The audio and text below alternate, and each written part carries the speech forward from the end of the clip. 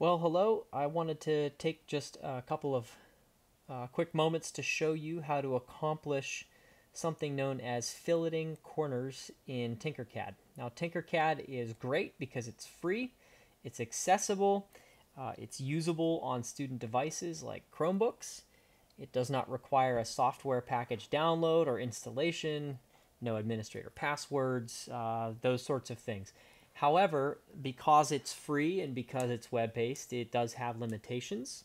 And one of those limitations happens to be the ability to take hard corners, like you see here in the red object, and round them off, okay, like you see in the turquoise object next to it here on the left. Now, why are rounded corners important? Well, there are a few reasons that I'm aware of. Um, the first is aesthetics. Some people prefer round corners as opposed to hard corners. The second reason is strength of changes of plane on an object. So anywhere you have something like a right angle, like you see in the object on the right here in red, anywhere you have uh, a change of plane. So here, for example, um, you could potentially have a weak point in your in your object. Um, and then the third, which is what's kind of led me down this uh, rabbit trail of trying to figure out how to round or fillet these corners, um, is safety. Uh, plastic can be very sharp. If it's printed at right angles or more acute angles, it can be extremely sharp and dangerous if, say, a four-year-old or two-year-old in your house were to happen to trip and bump their head off of an object like you see here. Now what you're looking at are um, some table couplers. If you look at the project title here, um, what these couplers do is without having to purchase any additional hardware, uh, these connectors allow me to attach two or three IKEA Lack tables one on top of the other um, and then I don't have to worry about them shifting or sliding off of each other. And, and what it essentially creates is a nice shelving system, which I'm planning to use for my office printer, my 3D printer, and my Cricut uh, vinyl cutter. Okay, so I designed my base item. If I go ahead and ungroup this real quick, I can kind of give you a sneak peek. I designed my base item, which was just basically an empty box sitting on top of um, another more complicated box with a hole cut in it. Um, and then I just grouped those two items together. But the, the hard corners were still bothering me. And so I did come up with a way to uh, round these corners off or fillet them. I'm going to use the term fillet from uh, here on out in the video in this tutorial. Okay, so to show you how to do that, I'm going to jump to a blank workspace. Okay, and the first thing that we're going to do, we're going to use all basic shapes here and we're going to create a fillet tool. And so what you might want to do is just go ahead and name this, um, I'm going to name this 4 millimeter fillet tool. And I'm just going to keep it in my, my Tinkercad library permanently. And I can always go back and uh, I'll show you how to do this later, but I can export this object once it's complete as an STL. And then I can import it into other projects and use it to fillet corners, which is quite cool. So I'm going to start with a basic shape. I'm going to use the roof shape. And the only thing that I'm going to do the roof shape at this point is I'm going to go ahead and stand it up on its end by rotating it 90 degrees. Okay. And then if you'll look here, you can see it's sitting minus 5, so it's sitting underneath the work plane. I actually want to bring it up out of the work plane. There's two ways to do that. You can use the cone, right? Just uh, click and drag or you could just set this to zero. And that's going to drop it nice and flat on the blue work plane here. So that's first object that we need. The second object that we need is a cylinder hole. So we're going to bring this cylinder hole out. We can see that it's 20 millimeters wide, as is the right triangle. Now it's very, very important that you don't change the dimensions of this triangle unless you do so um, in a two to one fashion. That is uh, two increments wide by one increment high. Extremely important that we maintain this right angle right here. Okay, and you'll see why a little bit later in the video. Okay, so while I'm zoomed in, I do want to draw your attention to the fact that when you drop a cylinder into a workspace in Tinkercad, you see it's just a bunch of uh, tangent lines connected together to form what essentially looks like an arc right, or a circle. what we want to do is by clicking on our cylinder, uh, we actually want to increase the number of sides of that cylinder to as many as Tinkercad will allow. Okay, so in this case it's 64. All right, so the next thing that we're going to do is we're going to go ahead and we're going to align these shapes to each other. And so the way that we're going to do that is we're going to click on one. There's a couple ways of doing this. We're going to click on one, hold down the shift key, click on the other. Okay, that allows you to be very selective. Let's say we had five objects in our workspace here and we only wanted to select these two. Holding down shift and clicking the ones you'd like to select is a nice way of doing that. Now there are other ways. We only have two objects in our work plane, so I could use Command A on a Mac or Control A on a Windows or uh, Chrome device, and that'll select everything in the work plane, or you can simply click and drag over top of the items you want to select. Okay, so we want to use our Align tool here to only align them center with one another. Okay, we're only going to click this little button here. We want to align them center with each other. That's the only way we want to align them for the for the time being. Okay. Now what we're going to do is we're going to use this hole, this circular hole, and we're going to cut some of this material out of this triangle. But it's not going to be perfect. You'll see we're going to have to come back and touch it up a little bit. So what we're going to do is we're going to go ahead and we're going to click on the work plane tool here and we're going to bring this out to our workspace and you can see it's sitting flat on the blue work plane right now. Now if I put it up against this this sphere you can see it rotates around the faces of this sphere. We actually want to put it on what was the bottom of the roof and watch what this does. It's going to change our reference plane to the bottom of this roof or this triangle. So what we want to accomplish next by clicking our cylinder hole or selecting it is we actually want to sink that cylinder. You can see I grabbed this, I call this the cone right here. We're going to grab this cone handle and we're just going to push or sink that cylinder down into this roof. Okay. And that minus 6, right, you see this reading right here, minus 6 looks to be pretty good to me. So I'm going to go ahead and I'm going to switch my work plane back to the original blue work plane. Okay. Now we haven't cut this positive material out yet because what we need to do is we need to take these two objects and we have to group them together. Okay. Now you'll see, as I told you, we're a little bit imperfect here. You can see we have two pieces of this roof or the triangle still left over. Now, it's not as easy as clicking on one of those pieces and hitting delete or backspace. It doesn't work that way. If you do that, it's going to delete this entire piece, all three pieces here.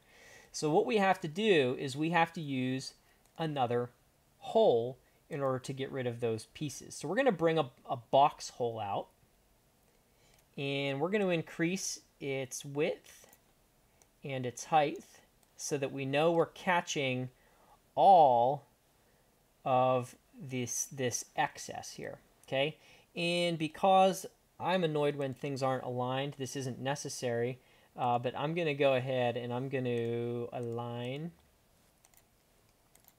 my box hole and what remains of my roof I'm just gonna align them center and then we're gonna come back to the old work plane tool and we're going to set it right here on the flat remnant, which was the bottom of the roof.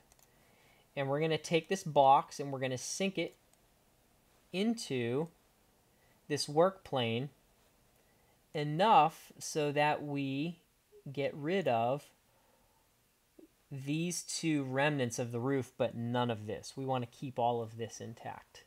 Okay? So let me grab my work plane tool. We'll go back to the original blue work plane.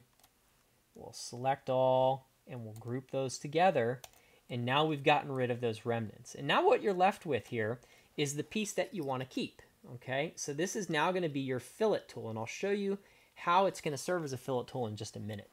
We're going to go back to that IKEA project I was working on. So the beauty of this is we now have a scalable piece. If you hold down the shift key on your keyboard, and you grab one of these corners and you drag, you can make as big or small of a fillet tool as you'd like. So I'm going to go down to about, uh, what did I do here? I think I goofed something up. Let me redo. Click. I'm going to hold down shift and I'm going to scale this down to about four ish millimeters if it'll let me. We'll go four, now nah, we'll go three, there it was, four. All right. So if I look on top, it is nice and uniform. The arc's nice and uniform. We've maintained our right angle. Um, what I can do is actually, I can make this taller without proportionally scaling it out.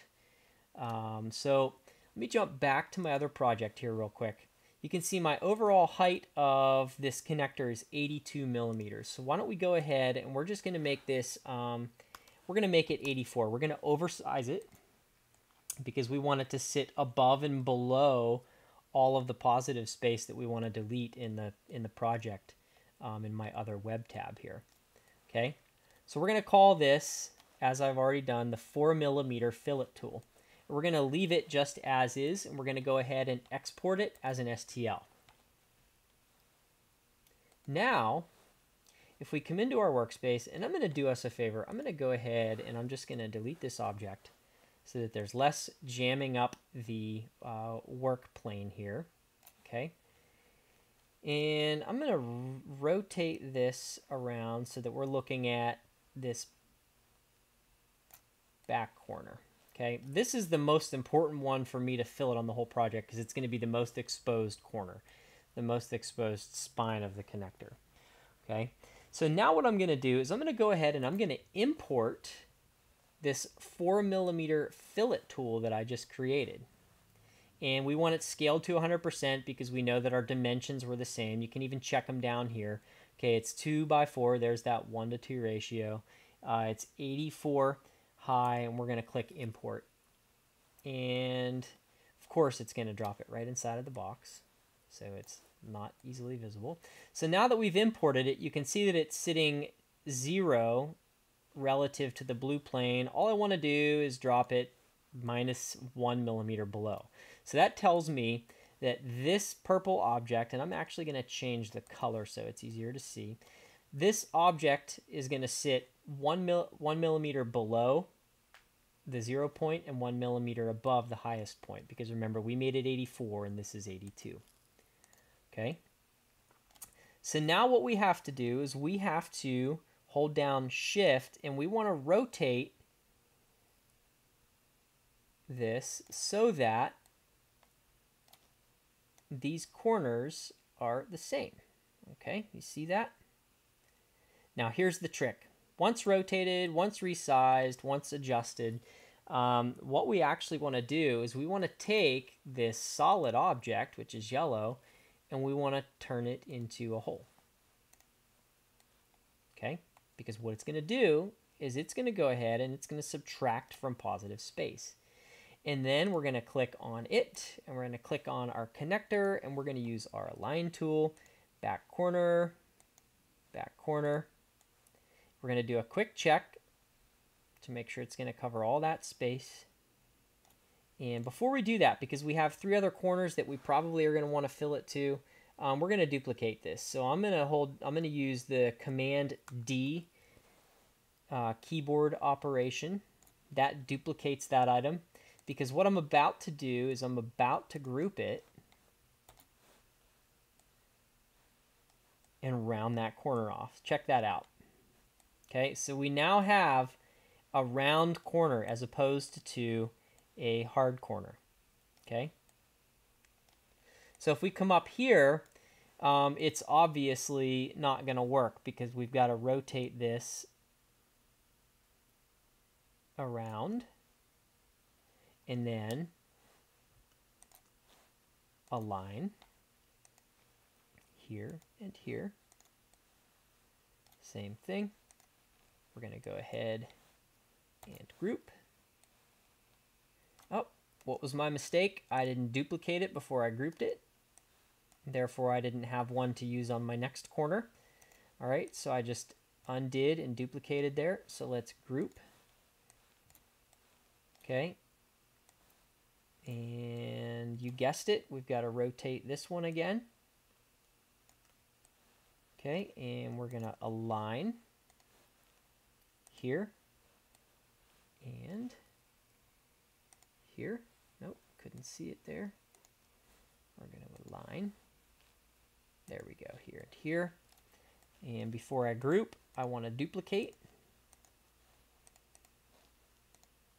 Command D or Control D if you're on a Windows or Chrome device. So I want to select these two, group them together. And last but not least, we'll hit this last corner and we'll be done.